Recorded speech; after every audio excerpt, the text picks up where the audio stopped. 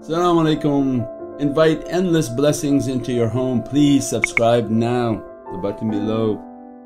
Bismillahir Rahmanir Rahim. Atiyullah, Atiya Rasul ulul amri minkum. And always a reminder for myself, Ana abdukul ajisu, da'ifu, miskinu, zalim, jahal. And but by the grace of Allah we are still alive. That Allah's rahmah be upon us and dress us and bless us and forgive us. Alhamdulillah that this way of marifah, this way of light was meant that our salah be our tafakkur, that to sit and connect our hearts.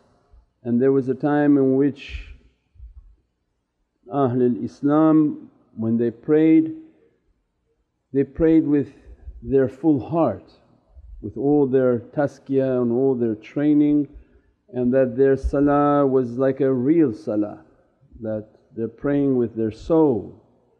When the way of tazkiyah ends, which is the way of purification and cleaning, then the salah is an empty action, an action filled with nafs and bad character and bad desires. And we've taught before that even the wudu and all the practices, shaitan's still inside.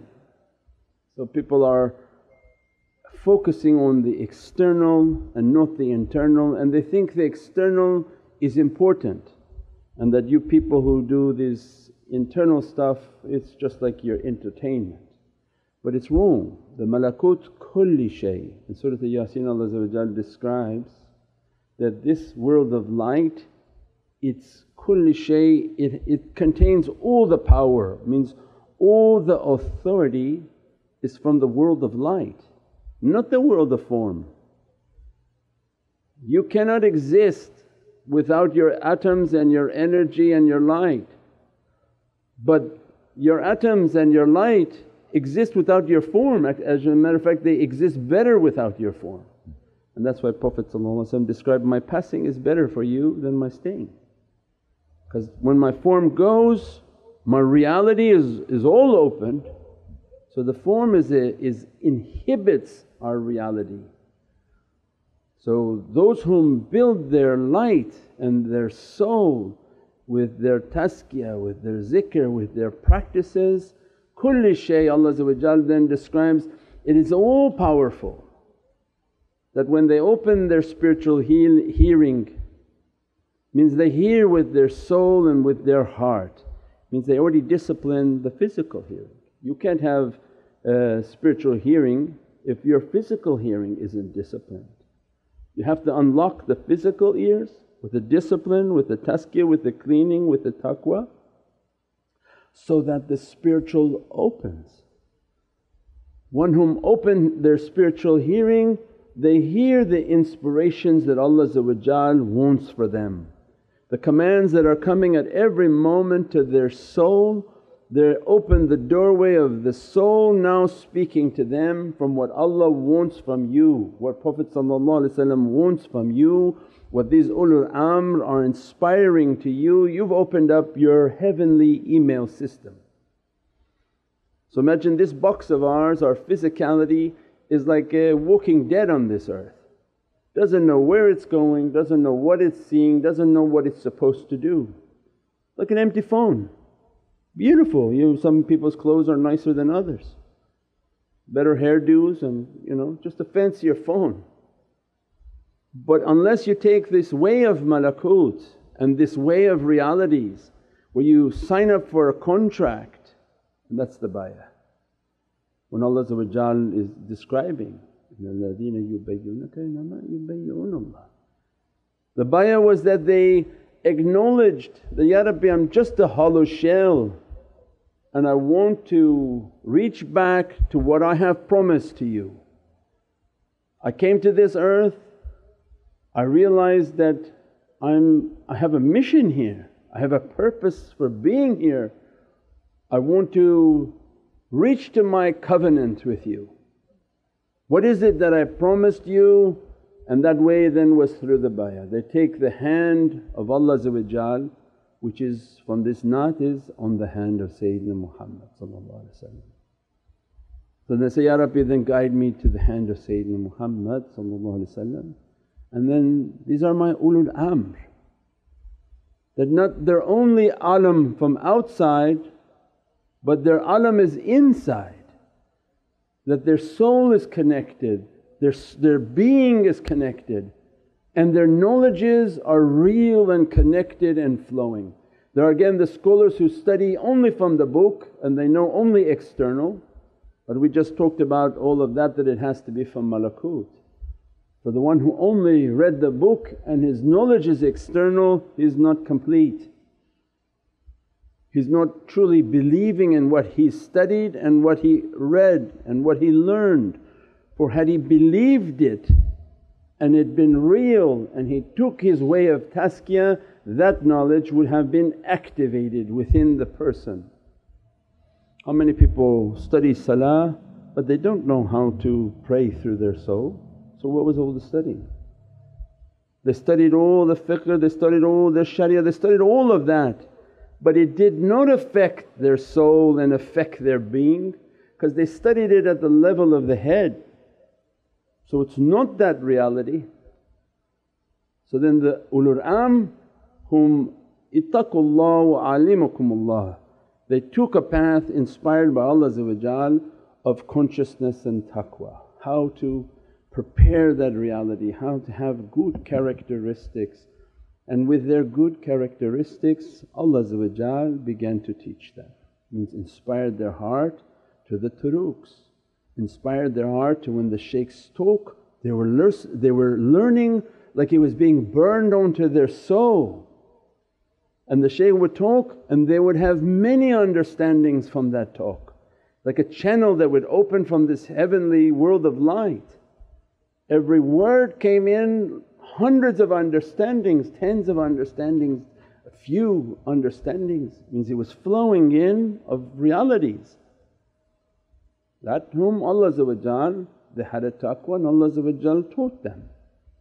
So means then this way had a power, they understood the realities, they trained to the realities so that when they make their salah it's with their soul. They make their salah, their soul is feeling that reality, their soul is, is moving back into that ocean of connection. When Allah created them and said, Am I not your Lord? And we said, Bala, yes. Means the soul to soul connection of their reality at that level their salah is becoming more and more real. So then that's when salah was a part of tafakkur. Because many comment now that, what is, is meditation even in Islam? We have salah. I say, yeah, our salah used to be with tafakkur. Now it's a hollow practice. The one making salah has no tazkiyah. What is the value of that salah? And if the salah is with bad character and shaitan within them, again many other talks we've had this, the shaitan is inside the person. How then the salah is going to change them? And that the devil inside makes the salah to be dirty, it doesn't even raise. Because the shaitan is not going to go up with them. So shaitan is inside that person, nothing will be raised by that person, it just stays at that ground level and that's why the condition of the nation. They took and left the way of tazkiyah and they kept a shell in a form. And they think the shell in the form is going to be doing something and that the cleaning of the heart, cleaning of the mouth, cleaning of the mind those were secondary but unfortunately those are primary. and they, they, they took even the, the feeling or understanding that I don't need anyone to help me. And we said that this gate is the gate of tawbah. This way to find these ulul am, they are dressed from the sultanate and the sultanate has to do with the reality of the number 9. Means their reality goes from 1 through 9, huwal awwal is 1, huwal akhir is 9. Everything is based on this secret of 19 of 1 through 9. The 9 being this highest most powerful number because it's single digit. 10 is 1 and 0, it reduces to 1. 9 is the authority, 9 is the submission, 9 is the power. So they come and teach, there's a code in this Holy Qur'an that these ulul amr they move from Surah 9, they move in Surah Tawbah.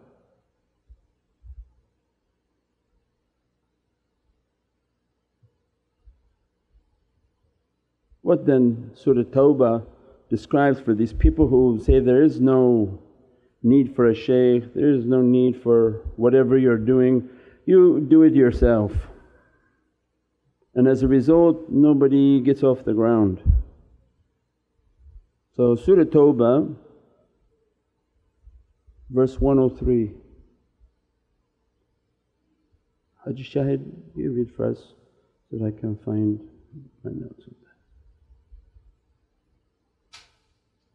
Verse 103 on Surah Tawbah, Surah 9, Surah verse 103.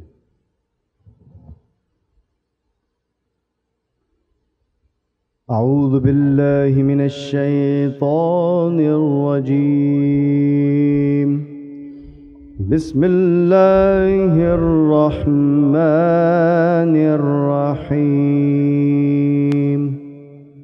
خذ من أموالهم صدقة تطهرهم وتزكيهم بها وصل عليهم.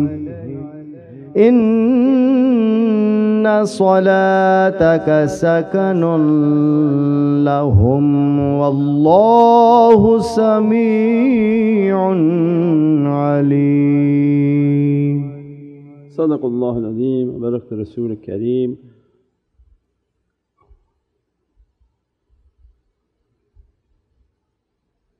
A way of logic with these people is that one, do you believe that the Holy Qur'an is a book that is beyond this understanding of life? It's Allah's not created words, it's not created, has no life and death. It is a timeless reality. It is not the stories of old. Was Ahl, uh, Ahl Sunnah wal Jama'ah their aqeedah is that. If you believe other than that, turn the page, you lost it. So the book, Allah's words are live right now, must be relevant right now. Second part of our belief is Sayyidina Muhammad don't deem him that he passed away, he's more alive in his grave than any of the shuhada that Allah describes in Holy Qur'an. He's hadirun nadir, he's present and he's aware As Allah describes, when you pass the martyrs don't think them dead in their grave, they're very much alive because hayat al barzakh and the, the life of the grave is from the soul, not the physical body sitting up and having tea. They don't need that body, they parked the car that was not the passenger. You know when you go into your house you leave your car outside, you don't take the car inside the living room and say, I'm going to watch TV from my car. There's no mind people say, oh look their bodies, they're seeing these people in their bodies sitting and having tea in the grave, they're alive. A child can understand it better than them. The life is of the driver, not the vehicle. This body has no value to Allah The, the body, the real value is my soul. When I park the body into the dirt, ashes to ashes, dust to dust, this soul is very much alive and is free, is free from this confines of the body. This soul can be everywhere and anywhere with izzatullah it wants. Study a little bit of light and the physics of light, how many places it can be at the same exact time and communicate with all of those realities. Abu Yazid al-Bistami Qaddasallahu said, today I prayed Jummah 24,000 locations. At that time they were allowed to talk like that, now it's time of Dajjal they can't say anything because they say, you're a magician. They're able to send their soul into hundreds of locations and if Allah give them a permission they can have a form different at all of those locations. Like carjacking, they can take any form they want. It's not something hard for Allah Those are the abdal, there are 40 of them in Sham Sharif that they can appear in any form on this earth. Luhayfi, Imam al-Luhayfi in Damascus is the Imam of them. Means they have an Imam, they must be under command from Sayyidina Muhammad of these Budala and these Abdal that they can be many places at the same time. You never know if you're in a difficulty, one of them appears in a form you don't have to understand who that person is and they make a du'a and najat and they save you from some sort of sickness or difficulty that was coming and they go as fast as they came, you won't even know who that person was. But they were ordered by Prophet to appear and to relieve a difficulty. This is our belief, this is a belief of Ahlul Sunnah wal Jama'ah. So means all of this hayat and the living book that has no time beyond this understanding of time. Now Allah says for this bab of tawbah that take from their wealth so that you may purify them. Oh ajeeb that Allah is actually saying to Prophet so that anytime we talk about Sayyidina Muhammad there must be the ulul am who are ahbab and they've inherited the Muhammadan reality. Allah is saying to Prophet take from their wealth, purify them. They say, oh Allah's the only one who purifies. No, no, Allah just described to us that Prophet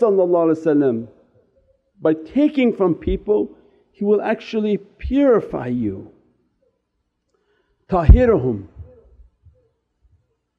So if you want to be tahir and you want to be purified, find a way in which Prophet can take from you.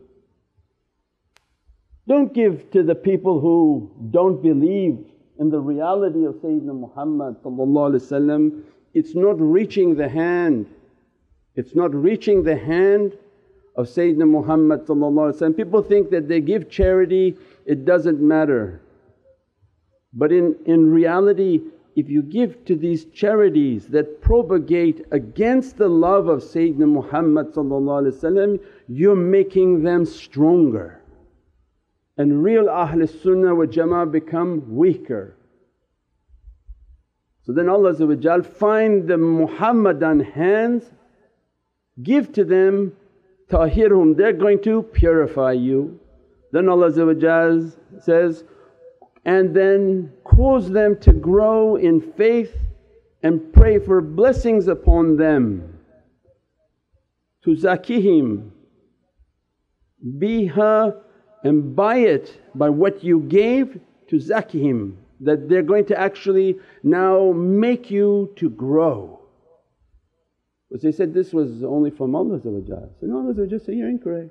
I have in my holy book telling you that if you go to Sayyidina Muhammad and his representatives representatives they will purify you and they will cause you to grow by means, be happy by means of what you have given and pray for blessings upon them. So Allah is telling you and they will pray for blessings upon you for verily your blessings are a reassurance for them. So you give, when you make du'a for them these Muhammadiyun because they are the extensions of Sayyidina Muhammad that Prophet this is the Hadith al-Qudsi that they are my eyes in which I see my ahbab, they're the ears in which I hear these ahbab, they're the tongues in which I speak these ahbab, they're my hands in which I touch you these ahbab. their feet are on my feet and they are the muqaddam and inheritors of Siddiq, Qadam as-Siddiq. That they pray for you and that prayer is a reassurance and then Allah seals the whole deal and says that, I'm the hearer and knower. So don't be worried. I hear what they do because I'm the one who's hearing it and I know what they do, I'm the one who's giving it. Allah wants to see the action. We said last night why Allah wants the first, first level of Islam make shahada. Allah doesn't know who's Muslim, who's not Muslim. Why don't we just say it's all telepathy? So Allah says, no I want you to know. I want you to take that action. Then Allah describing in this holy hadith, in this ayatul kareem that I want to see these actions from you.